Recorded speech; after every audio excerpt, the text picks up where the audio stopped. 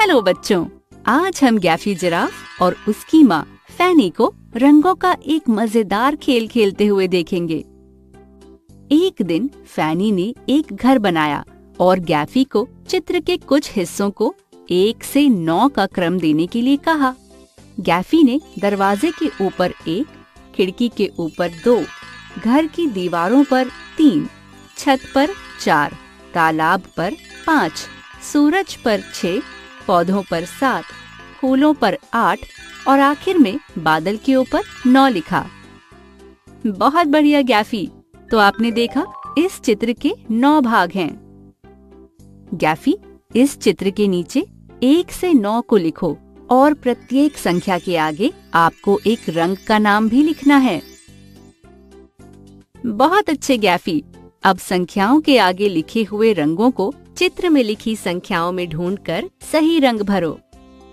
जब तक तुम रंग भर रही हो, तब तक मैं रसोई में कुछ खाने के लिए बनाती हूँ। बच्चों, है ना ये खेल मज़ेदार?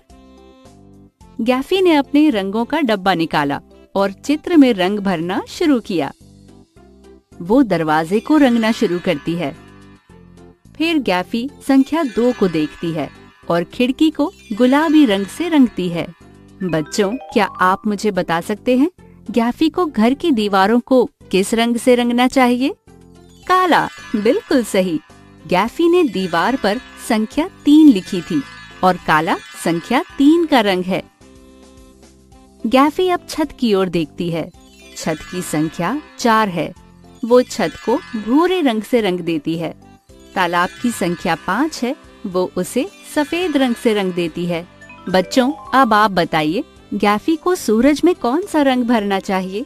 बिल्कुल सही, सूरज में संख्या छह है और संख्या छह पर पीला रंग लिखा है, इसीलिए वो सूरज को पीले रंग से रंगेगी। अब बच्चों, क्या आप बता सकते हैं कि चित्र का कौन सा भाग संख्या सात है? आपने सही पहचाना, पौधे, और संख्या सात का रंग क्या है? हरा, बिल्कुल सही। इसीलिए वो पौधों को हरे रंग से रंगेगी। आइए, अब देखते हैं संख्या आठ पर क्या है। संख्या आठ पर फूल हैं और संख्या आठ का रंग लाल है।